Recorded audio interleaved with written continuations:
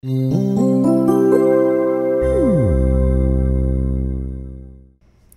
and welcome. This mini-series is going to focus on basic concepts of geology and it's intended to help anyone in their studies of rocks and minerals.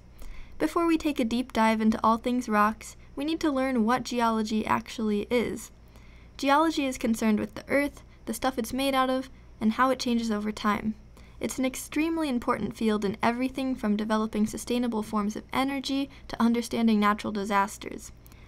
Coal mining and ore and petroleum extraction are among the economic applications of geology, while more environmental applications would be waste management, soil analysis, and even the study of plate tectonics.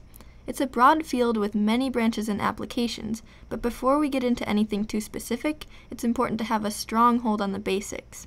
To start off this series, we're going to learn about the properties of minerals, their groups, and their real-world applications. Then we'll learn about the three types of rocks and the theory behind their classification. Finally, we'll explore the history of rocks, the composition and layers of the earth, and other more complex concepts. The knowledge learned in each episode will build off of but be independent of the others, so to get the full experience if you don't have any background, it would be best to start from the start. My goal is to make these videos short, informative, and to the point while still interesting.